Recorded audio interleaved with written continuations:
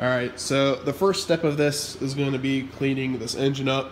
Uh, I've already done all the work. Um, I chased all the threads, so all the threads have been cleaned up for the head bolt, main bolts, uh, anything that's important.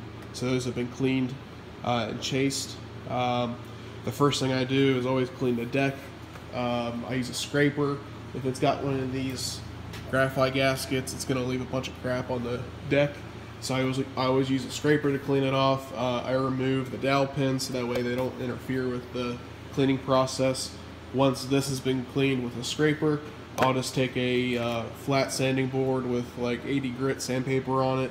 Uh, this one might be a little bit less, but just the all this is going to do is clean the surface. Um, I'm not trying to adjust anything with the deck as far as uh, out of you know if it's warped or something. This is strictly just for cleaning. Uh, once the once this has been cleaned, grab a straight edge and then uh, feeler gauges.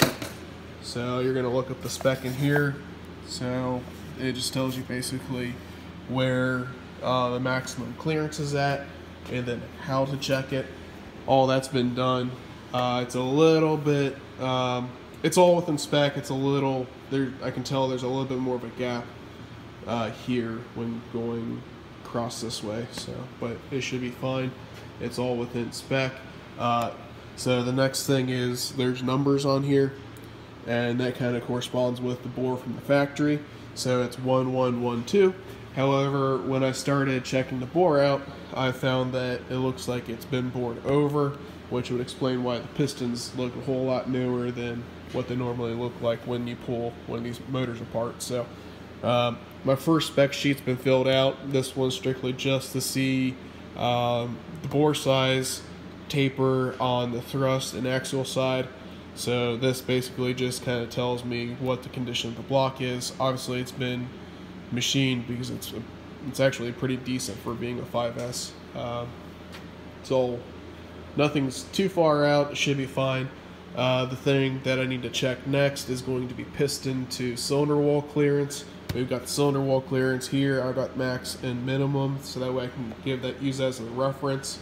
Uh, so my next step is going to be pistons, um, and then gonna see what that that is and um, basically go from there. So, um, so I showed you guys how to check for flatness for warpage uh, to see if it's true. Now to measure bore, it's a little bit different. Um, I always start off with the recommended minimum number for the uh, block. So as I mentioned before, it was 1112. However, that doesn't matter since it was bored out, but I did use the minimum number as a reference. Um, how that works is you use um, use this to set the bore gauge.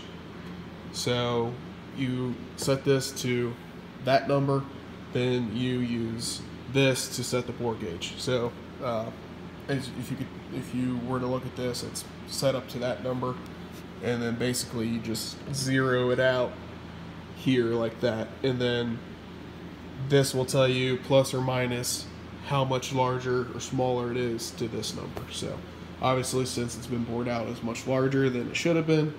Uh, but then you just kind of add that number to that number to get your total number if that makes sense. Um, that's uh, about it. Oh um, when measuring bore I always try to measure from the same exact spot on all the cylinders in both directions so what I do is I just use a tool like this and I mark spots with Sharpie. Each one of these are pretty darn equal. Um, what I do is I use this because it's got a flat edge and then I set this to three different spots. Uh, I use half inch, 2.5, and 4 inches. So I would just basically, know, if it was, well, there we go.